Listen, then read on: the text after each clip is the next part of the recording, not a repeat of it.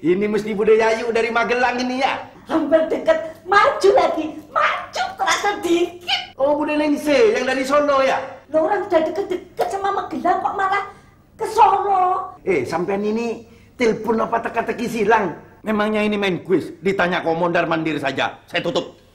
Tapi kalau telepon itu penting bagaimana? Ah, tidak mungkin. Eh, Mbak, mau ke mana Mbak Susana? Mau ke kamarnya Tommy. Mau ngapain, Mbak? Saya mau ngomong, siapa tahu Tommy mau terima telepon itu. Eh, tidak boleh Mbak Susana. Paling pakai cara lama. Aku berubah jadi boneka, biar mereka memindahkan aku ke kamar Tommy. Kenapa bonekanya Bos Tommy ada di situ? Ya. Popi? Kamu?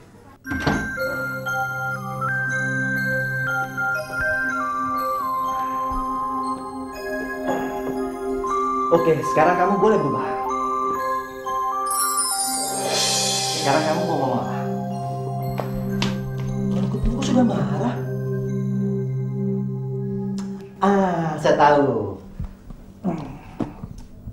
Kamu pasti marah karena saya nggak mau turun untuk nemenin kamu. Jadi kamu repot-repot jadi boneka hanya untuk ketemu dengan saya. Betul kan? Iya. Hmm, kalau gitu maafin ya sayangnya. Maafin ya. nah, sekarang kamu mau ngomong apa? Oh iya, Hmm. tadi bude kamu telepon. Bude, bude yang mana? Popi nggak tahu soalnya Popi mau terima sama satpam nggak boleh. Popi khawatir bude kamu perlu penting sama kamu. Kalau memang penting, pasti Bude akan telepon saya lagi kok. Oke? Ah, sekarang kita bicarakan masalah kita berdua.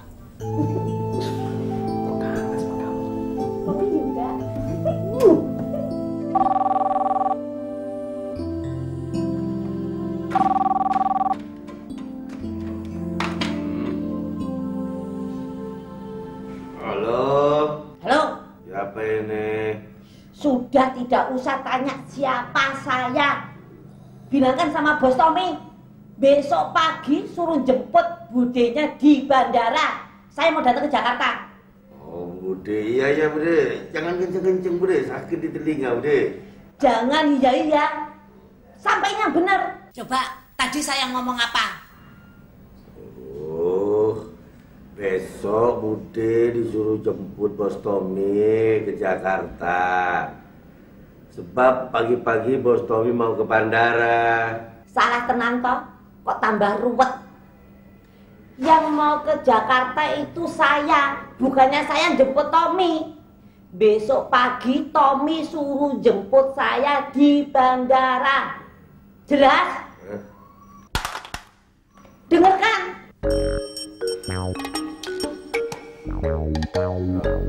Udah ada, ada suaranya. Udah sampai ngomongnya kali. Awas kalau salah-salah lagi. Halo?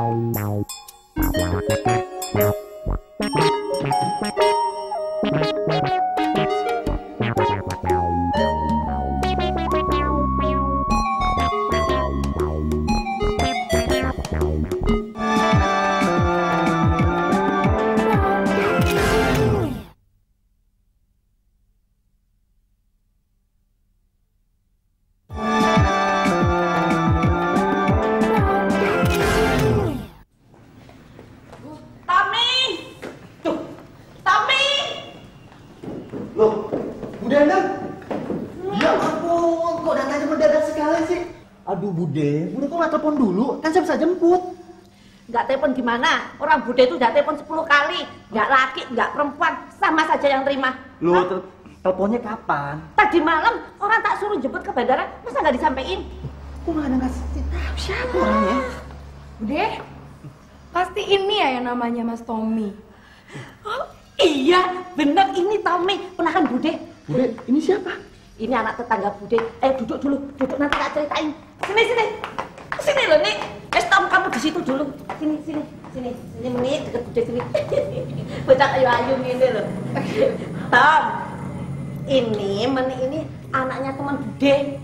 Yang tante Ningrum itu, yang di sampingnya Bude itu loh, yang ada gang masuk. Masa kamu lupa? Yang rumahnya tingkat tiga. Oh iya ya, Tante Ningrum yang rumahnya di pojok, yang pas di tikungan, yang lantai tiga itu ya? Nah, bener. Yang mobilnya banyak. Kalau parkir nutupin rumahnya tetangga. Tahu, nah, tahu. ini anaknya. Oh, ini anaknya? Iya. Oh.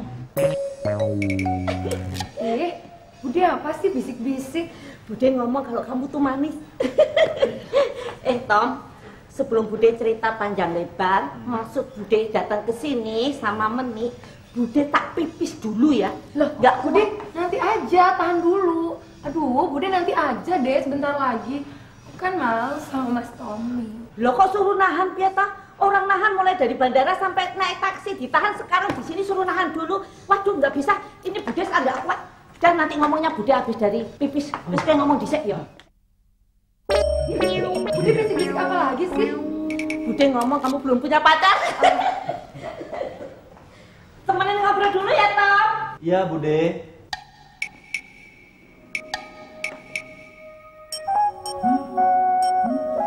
Mas Tommy, Bu duduknya di sini, Tom. Iya, di sini. Ih, lama banget sih. Ih, duduknya di sini. Nah, gitu loh. Oh, jadi kuliah kamu di Jogja sudah selesai. Iya. Terus mau rencana kerja di mana? Ya, Meni sih rencananya mau cari kerja di Jakarta, Mas. Ya, kerja apa aja deh, nggak muluk-muluk. Siapa tahu dia nolongin Meni. Ya? Loh, ada perempuan siapa ya? Ibu siapa? Ditanya kok malah nanya. Eh, kamu nanti saya urus ya. Saya mau pipis dulu.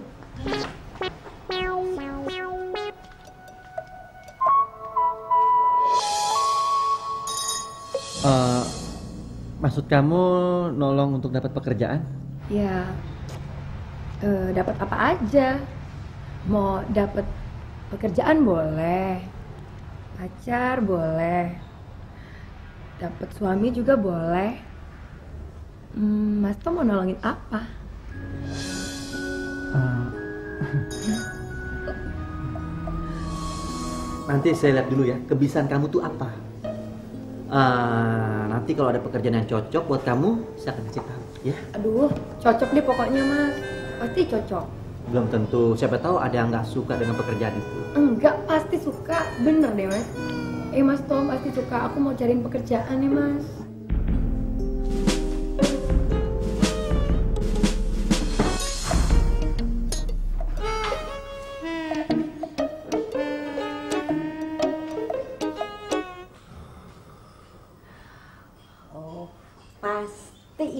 Yang gewer nggak nyampein pesan saya. Bangun, bangun. Tuh, Bude Endang. Eh, kok sudah di sini, Bude? Sampai itu datang nggak telepon dulu biar saya bisa jemput sampean gitu. Nggak telepon gundelmu itu, hah? Tadi malam saya sudah telepon, hah? Kenapa saya tidak dijemput di bandara? Daripada Poppy bebas bergerak hidup tapi sakit hati,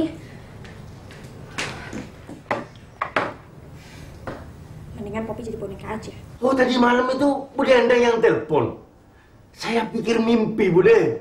Telepon-teleponan sama saya begitu. Tahu-tahu suaranya terus hilang gitu. Mimpi, mimpi. Udah, Loh. nanti ini saya urus. Sekarang saya ada pertanyaan sama kamu. Ayo ikut saya. Apa, Bude? Sudah, Bude.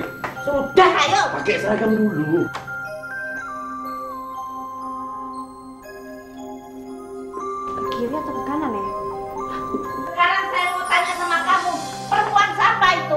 Perempuan mana, Bude? Itu Ini bukan perempuan, Bude. Ini boneka, Bude. Boneka ini kesayangannya Bos Tommy. Ini benda mati nih, loh. Bunyi tok tok tok ini, loh. yang masuk di kamar itu tadi sama. Rambutnya juga sama. Oh, kalau itu Mbak Susana namanya, Bude. Eh, maaf bos. Eh, Eh, maaf. kamu pulang dari pasar lewat pintu belakang kan bisa. Kenapa lewat sini? Maaf ada yang lupa. Tadi pagi Pak Jenderal berpesan kepada saya untuk disampaikan kepada Bos Tommy Apa? bahwa pagi ini Bos Tommy disuruh menjemput budenya yang baru datang dari Jogja di airport. Udah telat. Iya, iya, iya. Kenapa baru sekarang kamu kasih tahunya? Eh, Iya, iya. Eh, siapa sih mas? Oh, dia dia tukang masak saya. Eh, sekarang mana sapam itu? Eh, sedang tidur Bos. Hah? Tidur? Iya. Eh, sekarang jam berapa? Jam waktunya kerja bukan untuk tidur. Eh, semalam dia begadang Bos. Dia jaga. Eh, tidak, dia nonton wayang kulit. Eh, kurang ajar. Panggil sekarang dia. Panggil duduk sini ya. Cepat, cepat, cepat panggil. Iya, iya, iya, iya. iya. Udah ah. Loh, eh, eh, eh. Sini. Sembarangan. Oh, Siapa itu Susana? Yang kos di rumah sini. Kos? Eh, eh.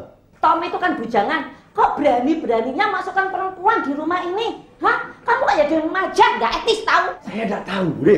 Jangan marah sama saya. Sama bos Tom. Nih, ada. Ada apa sih Bude? Kok ribut-ribut? Hah? Iya nih Bude kok udah marah-marah sih. Kita kan baru datang Bude. Kasihan dong Mas Tom Tom. Ini loh, kamu tuh tenang dulu ya, Meni. Ini urusan, ini loh Tommy. Mundur dikit, Bude. Ini kamu tuh ngapain sih? Mundur dikit. Tommy ini loh, masih bujangan kok berani-beraninya masukkan anak perempuan di rumah ini. Ini namanya kan nggak etis. Heh, itu perempuan tuh panggil di sini. Bude mau ngomong sama dia. Kalau bisa dia sekarang juga itu pindah dari tempat sini. Bude, Bude. Bude, Bude tenang dulu ya. Sekarang gini. Ah, Bude istirahat dulu. Mm-mm. Ya. Setelah istirahat nanti kita lanjutkan lagi pembicaraan masalah ini, oke? Pam, antrin Bude ya. Bude kamarnya sebelah sana. Iya, Bude. Tuh pakaianku bawa tuh tas-tas tuh bawa ke kamar. Eh, di Iya. sini nih ada peraturannya. Kalau mau marah itu nanti setelah jam 4, Bude. Ini baru jam 2 kok sudah marah. Loh aku biasanya setengah empat udah marah-marah. Nanti saja diledakkan jam 4 ya. Sudah ayo, Ayo, kamar Pam. ayo. Ayo udah istirahat dulu. Saya ambil tasnya ya, Bude. Eh, eh, kamarnya tuh di mana? Itu di kolam ikan itu loh, Bude. Hah? Kolam ikan? Masa aku suruh tidur di kolam ikan? Kolam ikan belok kiri sedikit, orang tinggal belok aja marah ini. Bude, jam 4 nanti baru marahnya ya. Kamu kok ngatur-ngatur saya? Ya udah jam 4 kurang seperempat buat persiapan yang seperempat jam. Orang kok cerewet begitu. Ada 10 orang saja kayak budinya bos Tommy. Rumah ini sudah jadi pasar burung. Cecetowe, cecetowe, tartor, petok, ayam. Eh bos, bos ini udah capek bos. Tiap hari ngangkat boneka, naik turun, naik turun. Kamu jangan ikut-ikutan cerewet ya. Entah saya jahit bibir kamu. Lu kemarin katanya mau dirobek-robek bibir saya bos. Sekarang mau dijahit. Yang bener yang mana? Nah, ini dia Pak Jenderal. Ah, saya cari-cari dari tadi. Kenapa, Ger? Pak Jenderal dicari sama Bos Tommy. Ah, telat kamu. Orang barusan bos Tommy meeting sama saya di sini. Ah, meeting? Iya. Bukannya Bos Tommy mau menjahit bibirnya Pak Jenderal? Nah itu sudah tahu gitu kamu kok pakai nanya segala. Oh, ada apa?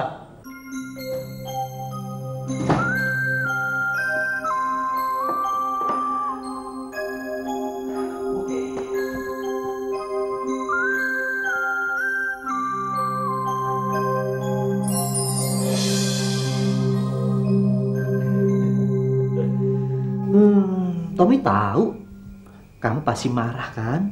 Karena cemburu melihat saya bersama dengan perempuan itu. Iya kan? Iya dong. Sayang, perempuan itu nggak ada apa-apa untuk saya. Dia hanya teman baiknya bude saya. Hmm? Ngapain dia datang ke sini? Ya, saya nggak tahu. Mungkin dia kemari untuk nemenin bude saya. Datang kemari, ya? Tapi Bobby curiga. Jangan-jangan bude kamu mau menjodohkan kamu sama perempuan itu. Hmm, nggak mungkin, tidak mungkin. Bude saya tuh orangnya demokratis, nggak kolot. Jadi kamu yang berpikiran seperti itu, ya? Tapi dari gelagatnya, Bobby tetap aja curiga. Sayang,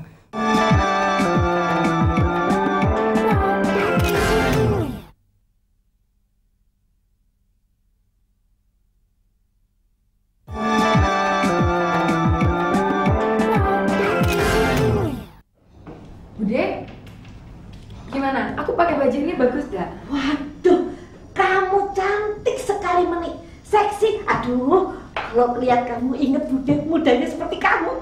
Coba muter, bude pengen tahu. Aduh, waduh, waduh, langsing banget. Duduk, duduk sini. Sudah duduk. Bude mau ngasih briefing sama kamu. Ah, Bude, pakai briefing segala kayak mau seminar saja. Ya gini loh. hari ini malam pertama kamu melayani Tommy. Hah? Melayani Mas Tommy, Bude? Ah, nggak mau aku. Hmm, menikah belum jadi istrinya Mas Tommy. Eh, eh, eh, eh, pikiranmu tuh jangan macam-macam dulu. Masuk Budi, melayani makan malamnya Mas Tommy.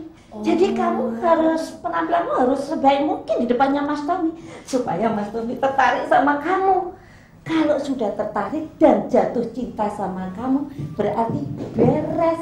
Beres gimana, Bude? Ya berarti utang-utang Bude sama mama kamu kan lunas gitu loh. Oh. Selamat malam, Bude Endang. Makan malam sudah siap. Bude Endang ditunggu oleh Bos Tommy di meja makan. Ya sebentar. Ingat ya Meni, jangan bikin Mas Tommy kecewa. Ya? Ayo, Bude.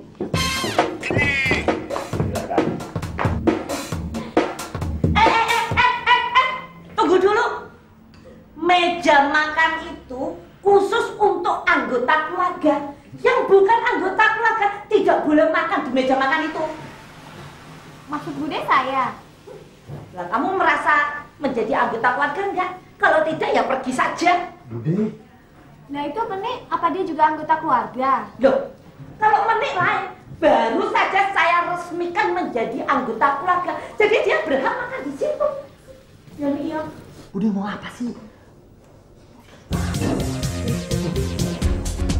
Tapi, uh, Susana, sana.